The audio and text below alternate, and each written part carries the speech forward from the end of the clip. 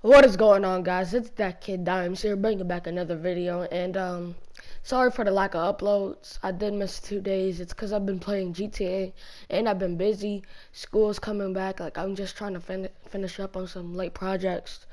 But um as you can see here in the in the gameplay, I am playing an SS5 with my friend who is an all-star too.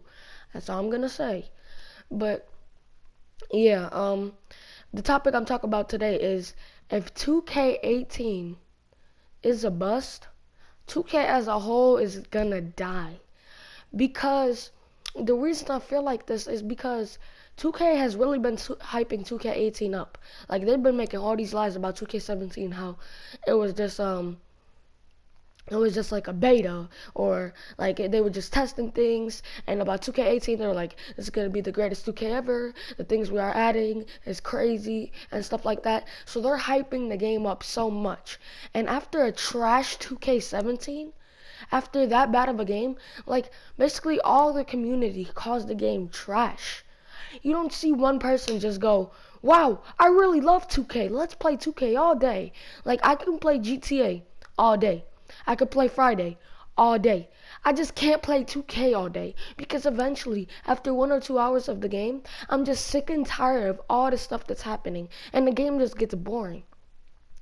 So they're at their last. This is their final stage, especially with two, Live 18. Live 18, like we saw the screenshots, like it doesn't look that bad. The archetypes do not look that bad. Like I feel like Live 18, like if 2K18 fails, Live 18 is to get the whole crown of best basketball game, to be honest, as I hit the green. But honestly, like, Live 18, this is your biggest chance now. Because if 2K fails, everybody's to go to live. I already said if 2K18 fails again this year, I'm doing the same thing I'm doing with COD. I'm not buying it again. I'm not buying World War II unless it's that good of a game. Like unless I see so much better. But like I doubt it. Like I will not buy World War II. I might buy it like three or four months after. Just to test it out, just to make some videos about it.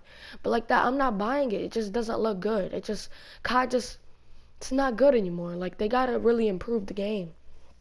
But as I'm, let's get back on topic. 2K18, it's your last chance. I mean, the game was bad. You got to make the game good, or else everybody's going to go to Live 18. And I don't think nobody's going to come back for 2K19. People just don't want to waste their money anymore. The YouTubers is what's killing 2K because they are voicing their opinion right now. They Everybody was talking about how 2K is trash. They were exposing all the bad things about 2K. Um, what's it called? 2K17. So the people are starting to watch YouTubers. As you can see, Agent has grown, Hank has grown. All those people are growing because people are starting to watch 2K more. People are like, the more more fans are getting influenced by the YouTubers, and if the YouTubers see one thing wrong, it is game over. They will start hating. They will start blaming 2K. They will do anything to bring 2K down because that's just how they are. Like we're as the YouTubers, they're trying to make good gameplay and like good content to see if the game is good. They're not trying to just put out a bad game. But yeah, if 2K18, if you suck, it's game over and people aren't gonna buy a game. But if you guys enjoyed the video, uh, make sure you leave a like and subscribe. And there's there, there's one more thing I want to talk about. As you can tell, like I as you heard in the beginning of the video, I did talk about how I'm playing GTA a lot more. So in the comments, if you would like to see GTA live streams, that's basically all I'm gonna do. Cause like I don't know what videos to make about GTA. If you would like to see those type of live streams, make sure as you see my teammate selling there. But you already know, gotta clutch up. Cause I never sell. I never sell. Um, make sure you guys leave a like and subscribe. I mean, what am I speaking? Make sure you guys leave a comment and just let me know because honestly I play this game so much like I can like live stream like 10 hours of GTA that's how much I play this game.